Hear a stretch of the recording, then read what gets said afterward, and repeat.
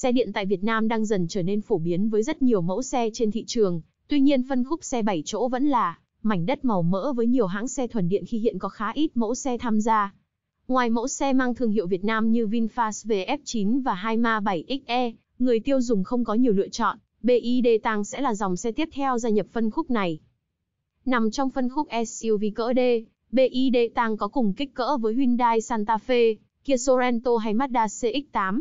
Sử dụng hệ chuyển động thuần điện, BID Tăng hứa hẹn mang tới tính kinh tế khi sử dụng cảm giác lái nhẹ nhàng, êm ái đặc trưng của ô tô điện. BID Tăng có chiều dài 4.870mm, rộng 1.950mm và cao 1.725mm, trục cơ sở dài 2.820mm. Theo đó, xe nhỏ hơn VinFast VF9 định vị phân khúc E, nhưng to hơn đáng kể so với Hyundai Santa Fe, Kia Sorento. BID Tăng là một trong số ít xe 7 chỗ chạy bằng điện tại Việt Nam.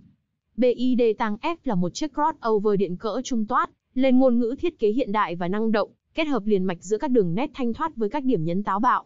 Ngoại thất của xe thể hiện hình bóng tự tin và khí động học, đặc trưng bởi lưới tản nhiệt phía trước rất rộng có logo BID, đèn pha LED sắc nét tạo thêm chút hung hăng, và nắp capo được định hình rõ nét làm nổi bật dáng vẻ cơ bắp của xe.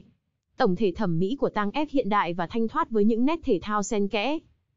Mẫu xe này không tập trung vào tính thể thao khi vận hành, mà hướng đến sự thực dụng để hướng tới phục vụ nhiều khách hàng. Do vậy, xe chỉ trang bị một động cơ công suất 225 mã lực, mô men xoắn 350 Nm cho bản tiêu chuẩn, trong khi bản cao cấp có sức mạnh 241 mã lực. Cả hai tùy chọn đều dẫn động cầu trước. Nếu có nhu cầu cao hơn về khả năng vận hành, thì BID Tang vẫn có một phiên bản cao cấp ở thị trường Trung Quốc sử dụng hai motor, ở hai cầu, động cơ phía trước mạnh 241 mã lực, phía sau đạt 268 mã lực.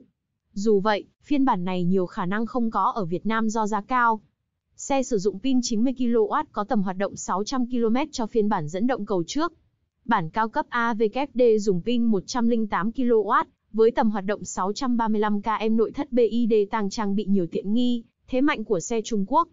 Hiện chưa rõ giá bán chính thức của BID tăng tại thị trường Việt Nam, nhưng dự kiến sẽ ở mức trên 1 tỷ 3. Các